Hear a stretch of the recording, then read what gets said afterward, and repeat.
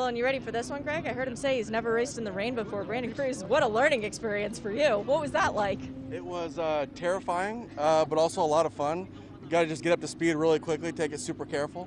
Uh, but it was great. A lot of really good sportsmen out here. And no one's going too crazy, but really competitive, really tight. It was a lot of fun.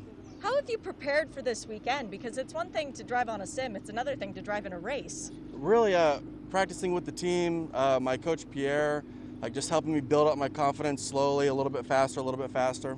Uh, and that really makes all the difference. It, it really helps you get into a groove as soon as you go out versus just having to learn it right off the bat.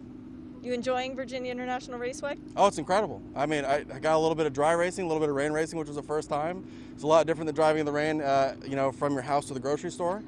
But uh, it was very, very exciting. Congratulations, Brandon. Thank you very much.